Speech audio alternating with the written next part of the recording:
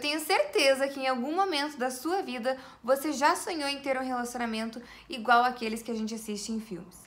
O problema é que muitas das nossas expectativas em relação aos relacionamentos são formadas a partir dos filmes, séries e músicas que a gente presencia normalmente. Só que o que acontece? O filme tem o objetivo de gerar emoções em você, de ser intenso, e nem sempre essa intensidade é o ideal para um relacionamento. Às vezes, justamente isso é o que faz você se sabotar em todas as suas relações. Eu tô aqui nesse vídeo para te contar os seis aprendizados que a gente tem com os filmes e que podem acabar com os nossos relacionamentos na vida real.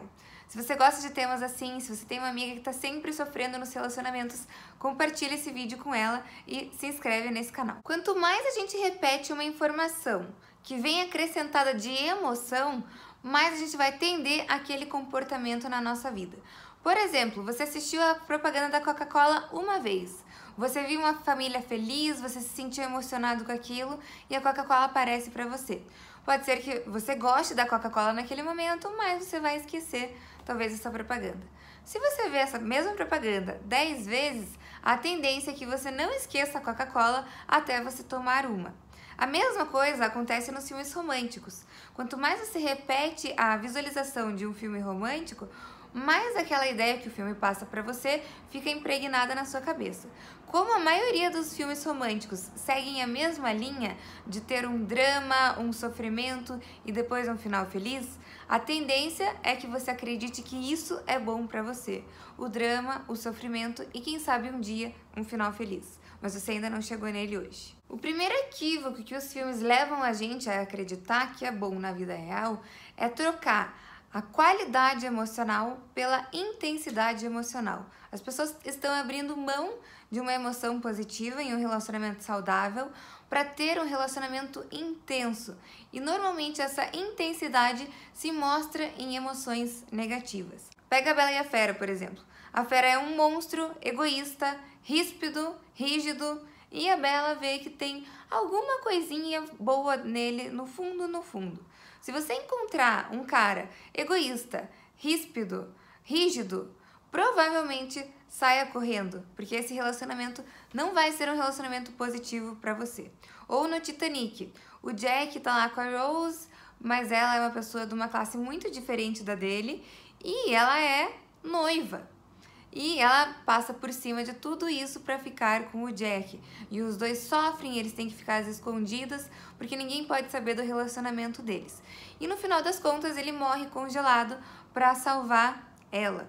Se você abrir mão da sua vida por outra pessoa, que não está comprometida com você, que está comprometida com outra pessoa no momento, por mais que essa pessoa goste de você, porque eu acho que existem situações assim, que realmente uma pessoa que esteja comprometida com outra está gostando de você, essa pessoa já traiu alguém. Provavelmente você vai sempre ficar desconfiado da possibilidade dela também te trair se um dia ela trocar o outro por você.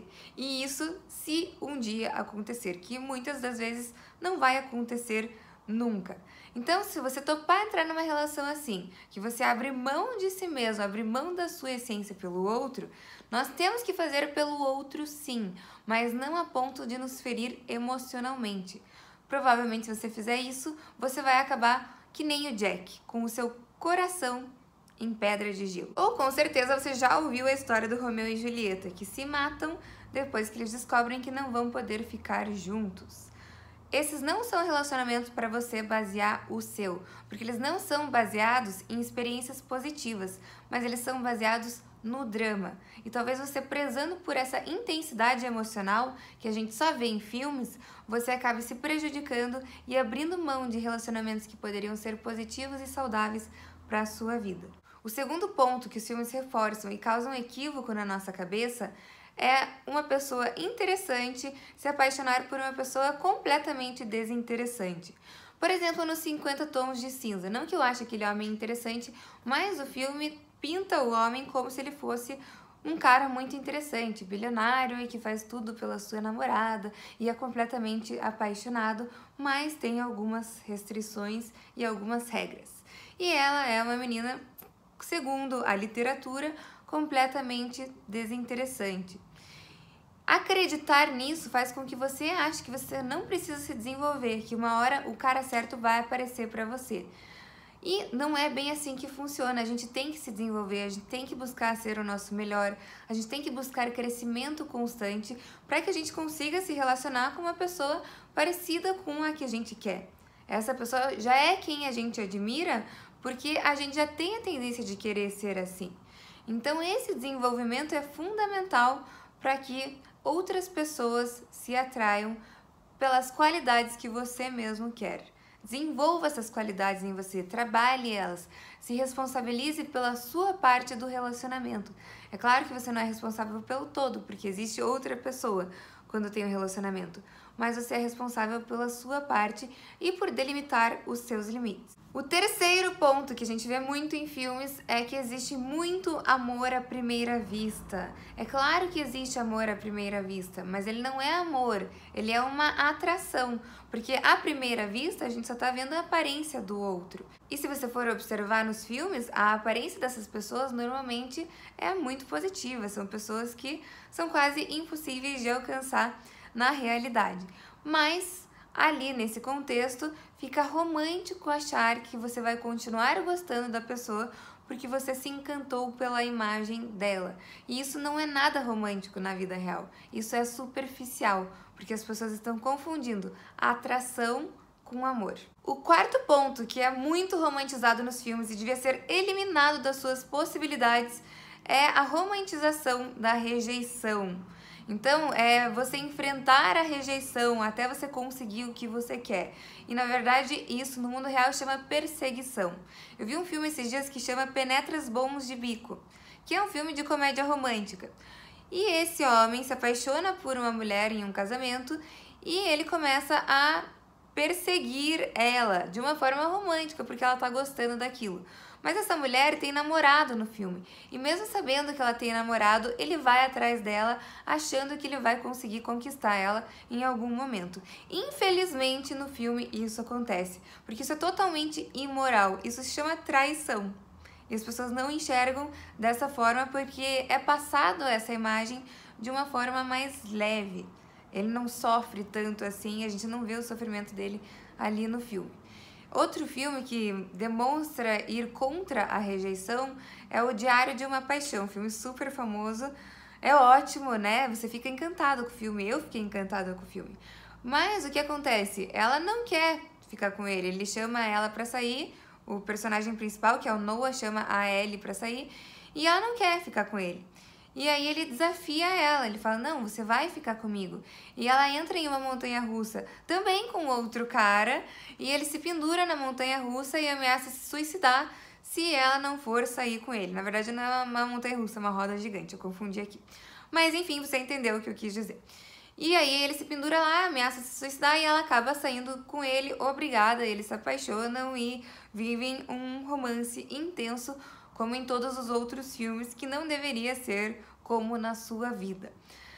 Mas essa romantização da rejeição não só faz as pessoas nos perseguirem, como faz a gente acreditar que a gente vai conseguir mudar o outro.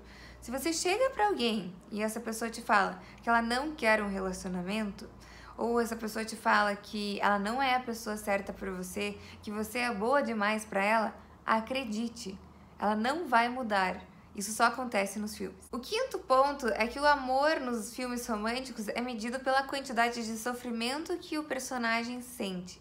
Então, quando o casal se separa e os dois personagens sofrem muito com intensidade, isso é a prova para o telespectador de que eles se amam. E a gente não pode basear o nosso relacionamento no sofrimento, mas enquanto aquele relacionamento nos traz felicidade. E não é que você tem que colocar a sua felicidade na mão de um relacionamento, mas o quanto você consegue se manter saudável, o quanto você consegue deixar que o outro tenha independência dele, o quanto que você consegue crescer um com o outro, o quanto que vocês conseguem contribuir um com o outro, o quanto que vocês conseguem manter o relacionamento de vocês leve, divertido. É nisso que devia ser pautado um relacionamento e não no quanto vocês sofrem.